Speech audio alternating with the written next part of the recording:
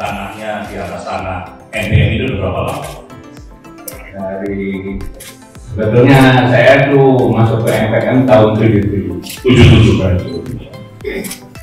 Nah, belakangan ini saya menggarap di tanah MPM kurang lebih lima tahun lima tahun. Tapi bapak di sini mulai tahun tahun 77. Bapak nanam apa? Saya berada seperti cabai rawit dan sebagainya Hasilnya untuk bisa menghidupi keluarga.